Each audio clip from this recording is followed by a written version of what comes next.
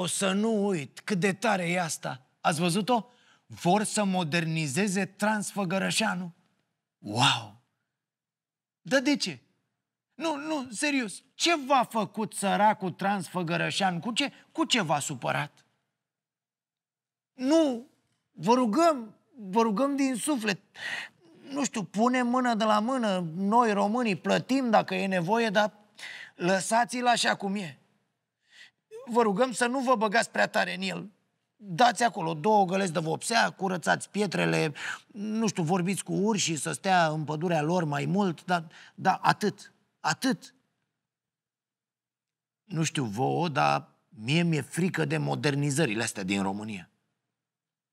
Uite, la Constanța au renovat o grădiniță care acum arată ca un restaurant. Oare nici acolo n-au avut diriginte de șantier?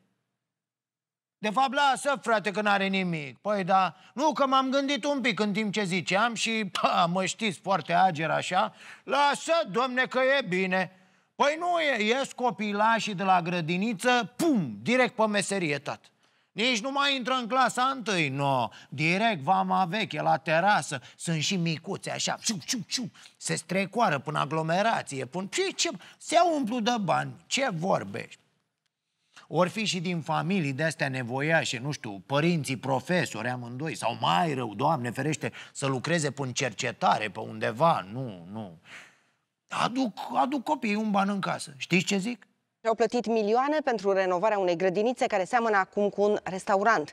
În bucătăria în care abia te miști au fost înghesuite frigidere industriale, o masă bain-marie ca la autoservire, friteză, o mașină de spălat vase și o alta de spălat pahare. Mai, mai, mai, alo, stați mă, nu aruncați cu pietre În primul rând că spargeți geamurile În al doilea rând Că ai grădiniță până la cât, mă?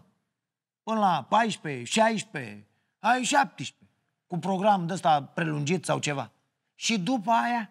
Ha? După aia vă întreb eu Dai drumul la cuptor, tată, bagi o pizza, faci bănuțul. Păi stă clădirea aia așa ca proasta, domne, doarme până a doua zi, o scos la produs. Un conac boieresc a ajuns în ruină, pune în pericol zinic zeci de elevi. De trei decenii, fortăreața în care a poposit Tudor Vladimirescu în 1821 nu a mai fost consolidată și doar o minune a făcut să nu se facă una cu pământul până acum. Mai grav este că această clădire se află chiar în curtea unei școli unde învață aproape 100 de copii. Uite, și aici merge, domne, foarte bine, aceeași treabă. Școală până pe la șase seara, după aia club de striptease, mă. Bar, club, na, ce o fi acolo. Băi, să nu dați bașii prea tare, că s-ar putea să cadă căzătura. Dar altfel, profitați, domn. Profitați că statul ăsta nu dă nimic, nu știe nimic, nu poate nimic și pe lângă toate aceste calități, mai e și tâmpit.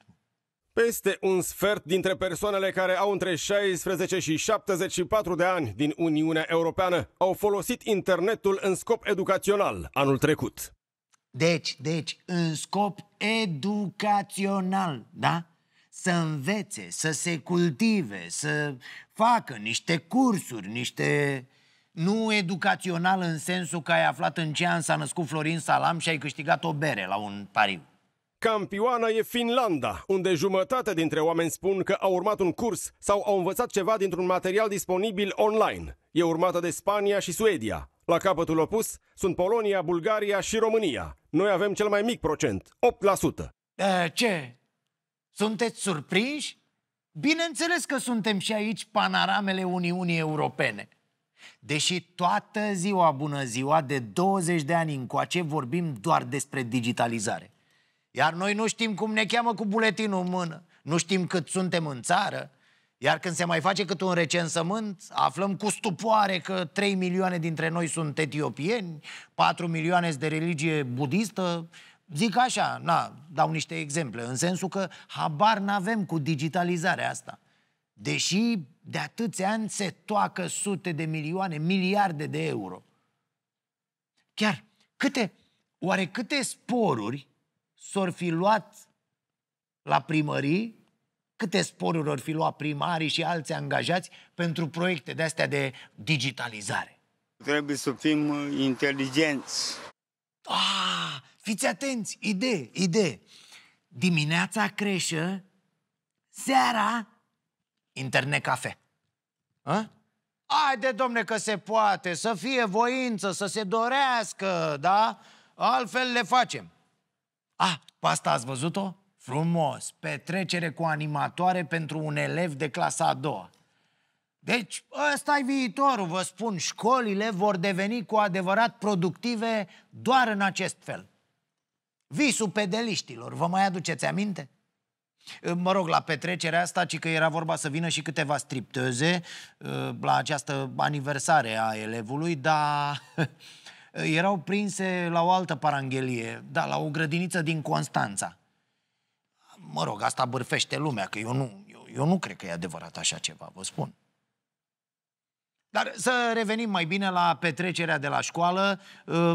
Poate vor și alții să afle cum se face, cum se procedează, cum se... Petrecerea surpriză care a avut loc în pauza mare a fost intens promovată pe rețelele de socializare și a stârnit reproșurile părinților. Directorul a fost demis. Mă mir. Bine, să ne înțelegem.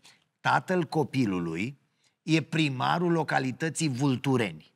Da. A, uite, bă, încă o idee. Deci vă spun, sunt, sunt în seara asta un izvor nesecat, domnule. La pauză, la pauză, după ce se sună, copiii de liceu ar putea să comande ceva. Știți ce zic?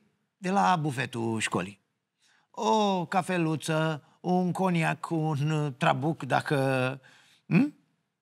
Și cum cine să aducă? E profesorii. Tot vin la oră. Să vină profesoara de franceză frumos să-i servească la bancă, așa. Uh, voulez-vous quelque cigarette, uh, un spritz? Uh? Prepare quelque chose? Hai mă, ce naiba! Haideți, vă rog eu să punem uh, ideile astea pe foaie, domne, pe ceva, că e legea ca și făcută. Vă spun, luni o trimitem în Parlament.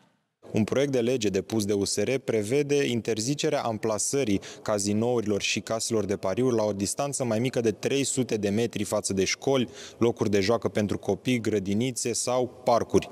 Exact. Cu chestia asta nu e de glumit. Sălile de jocuri n-au ce să caute lângă școli. Ce să caute lângă școli în condițiile în care pot fi amplasate în școli? Ce stil au ăștia?